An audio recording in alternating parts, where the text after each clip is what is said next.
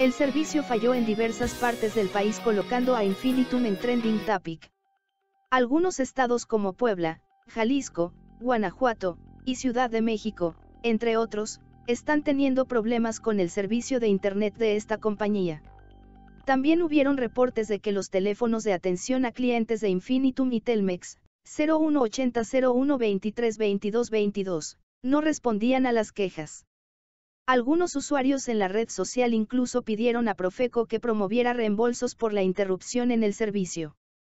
El servicio falló en diversas partes del país colocando a Infinitum en trending topic. Algunos estados como Puebla, Jalisco, Guanajuato, y Ciudad de México, entre otros, están teniendo problemas con el servicio de Internet de esta compañía.